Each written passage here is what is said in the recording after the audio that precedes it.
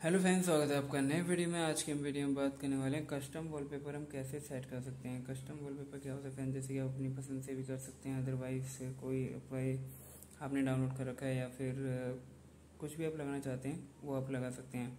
तो चलिए friends, video को शुरू करते हैं। वीडियो को शुरू करने से पहले अगर आप चैनल पर नए हैं तो चैनल को सब्सक्राइब कर वीडियो को लाइक कर दीजिए। फ्रेंड जैसे कि आप देख सकते हैं, मेरे पास ये वीवो का फ़ोन है और आपको सबसे पहले क्या करना है सेटिंग पर क्लिक करना है। तो क्लिक कर लेंगे। सेटिंग पर क्लिक करने के बाद आपको इस तरीके का आइकन शो करेगा। आपको यहाँ पर क्या करना होगा? जैसे कि आप देख सकते हैं थोड़ा सा ऊपर की साइड स्क्रॉल करेंगे और लॉक स्क्रीन वॉलपेपर पर क्लिक करेंगे। क्लिक करने के बाद दोबारा वॉलपेपर पर क्लिक करेंगे और जैसे ही आप यहाँ पर आ जाएँगे तो यहाँ पे आप देख सकते हैं, आपको डिफरेंट डिफरेंट टाइप के जो है वॉलपेपर देखने के लिए मिल जाएँगे।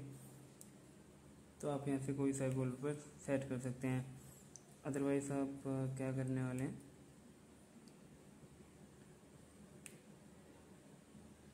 जैसे कि आप डाउनलोड में जाएँगे तो यहाँ से भी आप कर सकते हैं और मी पर जाएँगे। जैसे कि आपके प्रोफ़ाइल में कोई या फिर गैलरी में कोई अपने वॉलपेपर डाउनलोड कर रखा है, उसे भी आप लगा सकते हैं। तो मैं ये वाला वॉलपेपर लगा देता हूँ अप्लाई कर देता हूँ। अप्लाई करते ही आपसे पूछेगा set to lock screen set to home screen set spot board का मतलब होता है फ़ैन दोनों पर। तो मैं दोनों पर सेट कर देता हूँ। कस्टम वॉलपेपर तो आप देख सकते हैं, मेरा जो ये वॉलपेपर है, ये सेट हो चुका है। तो ये आप देखेंगे वॉल पेपर सेट हो गया। तो उम्मीद है फैंस वीडियो पसंद आएगी। वीडियो पसंद आए तो चैनल को सब्सक्राइब वीडियो को लाइक कर दीजिए। मिलते हैं नेक्स्ट वीडियो में, तब तक के लिए बाय बाय